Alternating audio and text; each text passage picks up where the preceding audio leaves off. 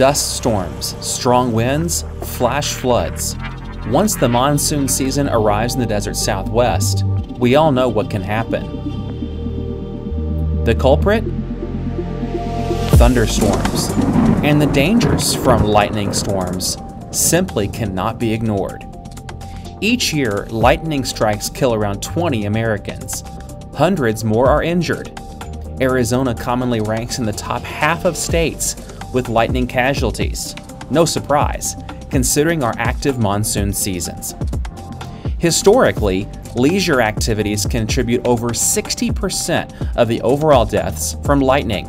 Of those, more than a third are water related, such as fishing or boating, and 14% occur while playing sports, such as soccer or golf. So, it really could be one strike and you're out. And in this case, we aren't talking about baseball. So here's what we can all do to stay safe. Plan ahead. Have a way to get weather information. Keep an eye to the sky for billowing clouds and know the forecast.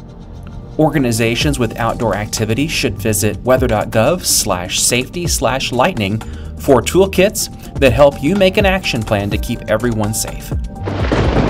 Hear thunder? Get indoors or in your vehicle. Avoid open shelters, fields, beaches, hilltops, and tall objects like trees. When is it safe? You should wait at least 30 minutes after the last rumble of thunder before resuming your activities. So don't forget the obvious. When you hear thunder, think lightning. Stay safe out there.